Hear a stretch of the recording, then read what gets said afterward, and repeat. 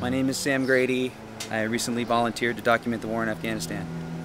I've been assigned to a specific Army unit, and I'm going to be uh, following those guys around for the next few months.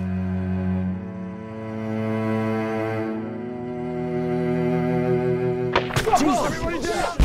What the hell is going on? What does it look like is going on? We're under attack. Now stay close.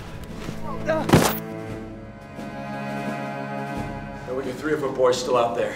But we're gonna go and get them. Start by stating your name and where you're from. My name is Luis Perez and I'm from upstate New York. Look at my guys out there.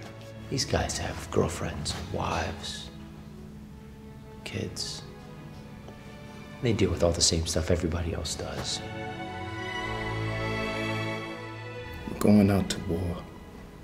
For real this time.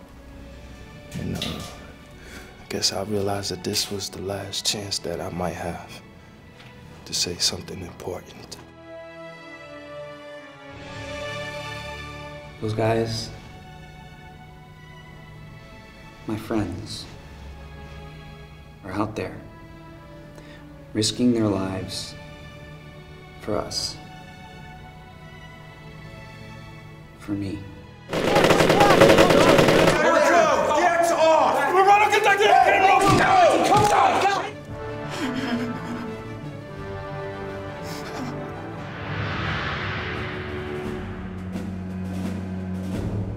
Want to show all of you out there who these guys really are.